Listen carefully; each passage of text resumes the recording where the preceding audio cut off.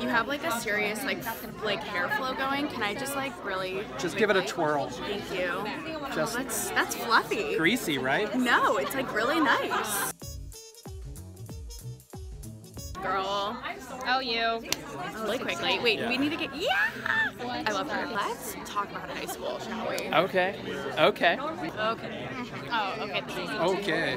Oh no. Uh, hmm, my thoughts exactly. Love it, hate it. What, what your experience? I hated high school. Why? I feel like you're like enthusiastic. Like, did you have a good high school experience? I did. I had a great high school experience. How does that happen, dude? Come on. No one loves high school. I don't look back on it and be like, oh man, I wish I was still in high school. This guy does. He loved it, and I was like, something's wrong. That's How is it perfect? Just, you, nobody can hate Casey. And were you a jock? Were you like the, No, like, I was a drama kid, kind of. Same seas. amen. I went to an arts high school, so Okay. people were a little bit more accepting of my weirdness. I was kind of like Betty in the sense where like I didn't have a specific place. Like I didn't play sports. I was a floater. We need to get your fan in here. Let's Got not the lie. fan going. It's too hot. Um, look at this little prima donna with this fan. I can't. And it's pink.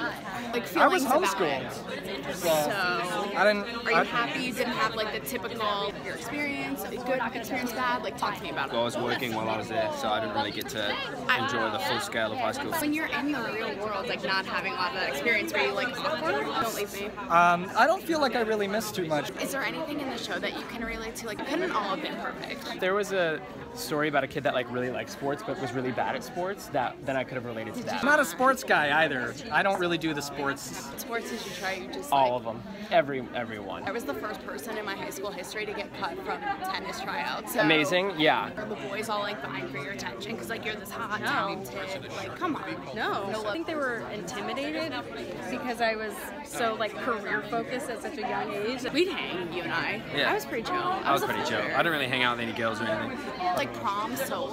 Like you have I didn't go to prom. I had a Mean Girls moment once, and I ate lunch in the bathroom at one point. It was like I was I was massively bullied from Same like here. junior high through the end of high school, and then I moved to LA and I was like, peace out. I was just kind of put into this category where it's like, oh, she's an actor. She must think she's better than us. And then I get these Exact. Facebook messages from the girls who bullied me, and they're like, oh my god, congrats on everybody, I love the show so Wait, much. I'm like, oh?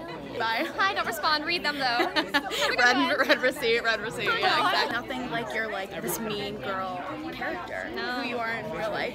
No, not Like at you're a sweet little buttercup. Keep on keeping on. I love it. Cheers. Thank you. See ya.